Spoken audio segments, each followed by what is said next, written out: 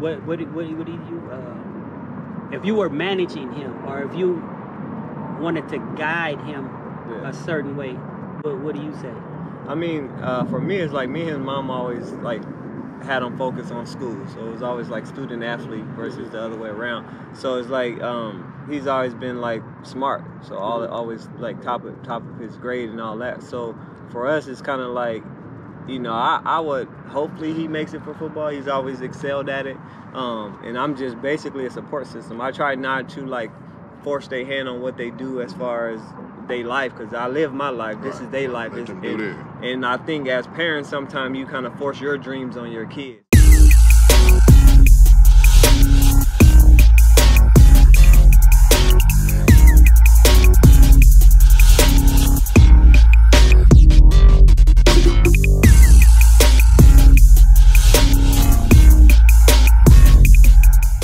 Kind of mm-hmm. just lay back and kind of guide them to the to the best solution of what they want to get to. So he wants to play football. So right now, like I manage a lot of his like his uh, football pages. I get his highlights, and then next year we'll really start hitting a lot of these other camps, getting them highlight films and going to different schools and stuff like that. So that'll build up. So my thing is just here to support him as, Right. as a parent and be his cheerleader. You know what I'm saying? I try not to waver him. Oh, where you want to go? We got to do this. We got to do that. It's like you know, this is their life. You know, Yeah, so I don't want to just overpower him with what I think he should do. You know, if he loves football, I'm gonna make sure you know he got the good op- right opportunities. Because I didn't play football, so I, I'm always trying to put him with the right coaches to Mhm. make sure he get better Mhm. and just guide him that way. But you know, he said he want to play football, and that's our plan for now. And then if that changes, if it like you said, if it's an injury, Lord forbid, or something like that, then you know we'll look to that into that direction.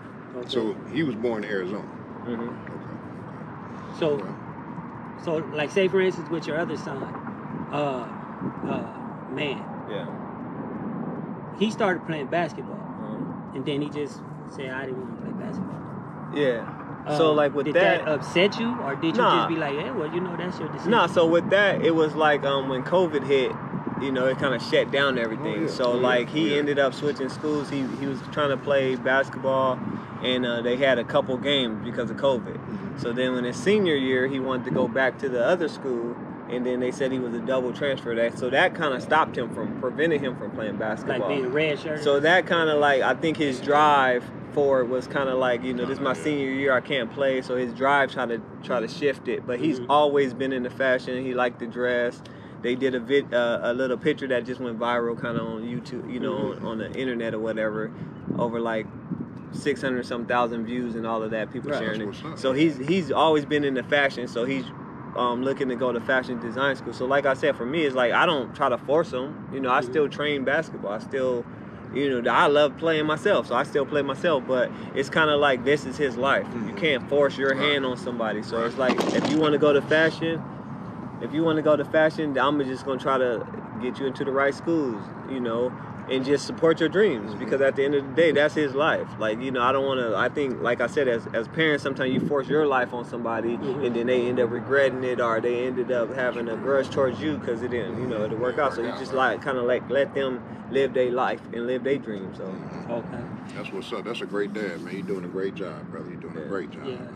Because the reason why I asked that because you know one one morning he might just wake up and say, you know what, Yeah. Dad, I'm I'm cool. You know what I mean? Yeah. I, I, I'm good. You would be okay with that. Yeah. Okay. My thing, like I said, my thing is this is their life. If he said I want to play football tomorrow, um, hey, well, what what you want to do? Right. We on to the next thing. Like, like, what's gonna make you happy? I'm supporting Because that. like at the end of the day, like I I made my decisions. Like when I was playing basketball and you know I was playing college and I let the money grab me and take me somewhere else. Like you know what I'm saying. So it was like my life to live. So Right. now when I had three kids, I think um, what I remembered about my dad was just like you know, he worked and worked and worked, and you know what I'm saying? I can remember how many games he went to. So for me, my attitude was different, was like, no matter what, I'm gonna focus on being there just to support them. Right, right. So he'll tell you, I probably missed maybe a, I can't even count on how many one hand on how many games I've missed of his, Mhm. and i if I did miss it, it's because I had other other things. But you know, I've always been there to support all my kids the same way. You know, I've done been to cheerleader events or just going to football games when my daughter was cheering, Mhm. and I didn't even know who was playing. I was just there to support her. So just doing stuff like that and just supporting your kids, I think is being the best parent you can be. Is you know. That's what's up. Ac- Actually, I think I went to uh, uh, one or one or two of his games, and I don't I don't remember how old he was, but at at the game, your daughter was a cheerleader. It might have been for men though. The, the cheer for man? I think so. At one point, yeah, at one point my daughter did cheer because my my two oldest are pretty much the same. My daughter's Uh-huh. 18 and my son's 17. Right. So they're closer in age. So, because little Gray he played basketball mostly, but he played football a couple of Mhm. years too. So it probably was that game. Okay. Yeah, I, I remember because I brought my daughter, and my when my daughter saw your daughter cheerleading, Yeah, she wanted to do that, but Yeah, my yeah. daughter wound up doing boxing. yeah. Um, yeah, she, she, yeah. I mean, like sometimes kids take after their fathers, and she took after her father. I mean, I never had a boy, so if she wanted to do that, I don't, I don't stop her if she that's what Yeah. she want to do. But she woke up one morning and said, "Ah, Dad, I'm cool. I don't want to do boxing no more."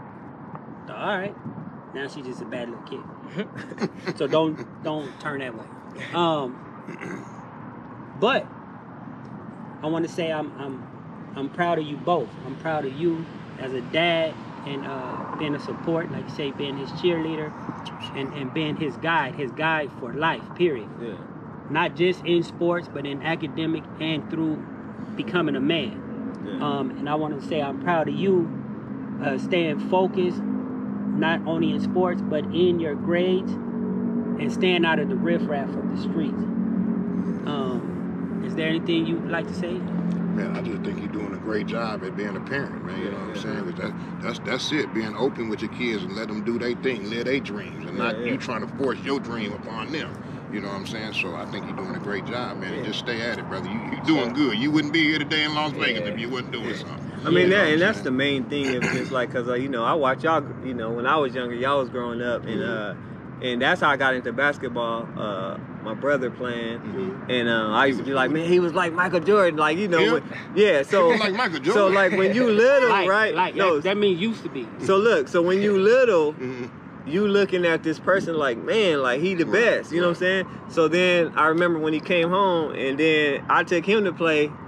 I was better than him at that time Okay, because he was like, oh, Steph, oh, you know. Yeah. So it's a difference, but you know that's how I got into sports, just watching my older brother and, and taking after that. It's like, man, so I want to, you know, do that. So for for them, it's like even when they were before they was playing basketball, I was taking them to the gym with me, and they would see me playing and just getting into sports. So whatever they wanted to gravitate towards, I let them play. So he up. just happened to stick more to football, and my other son stuck more to basketball. So it wasn't like I forced them to play a, a certain sport. I just whatever y'all gravitate. If they would have picked up a baseball, we would be at baseball games. That's right. Like you know, That's right. that's how that's how it ended up being. So you know, like I said, I'm just a support system for them. Like you know, help them reaching their they dreams. So Mhm. That's great, man. That's great. So yeah. So yeah, You want to close it out? is you ready to close it out already, man? Yeah. Yeah, what time is it, 25 minutes. Oh, okay. Then close it on out. Let me see. But my daughter, she she stopped playing.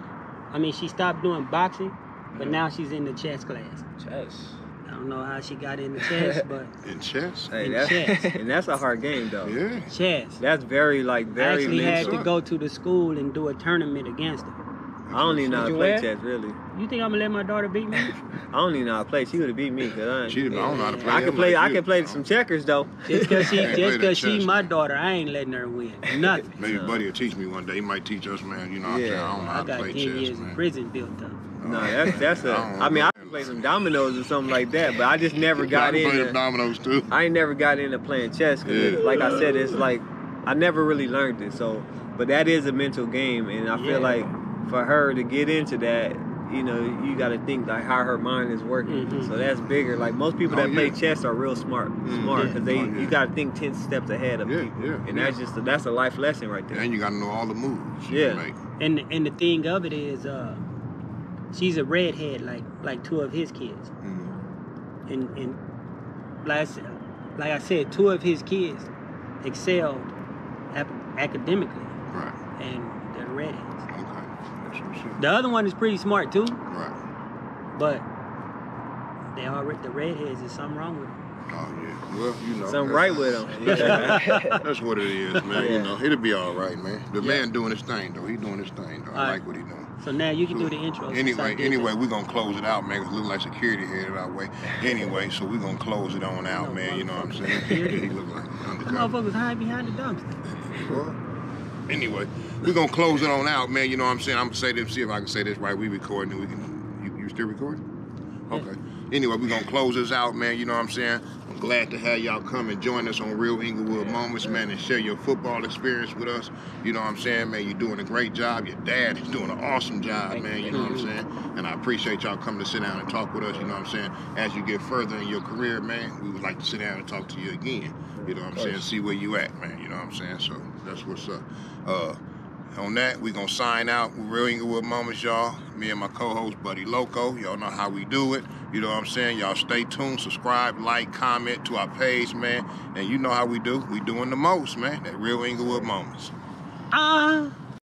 Street Rap.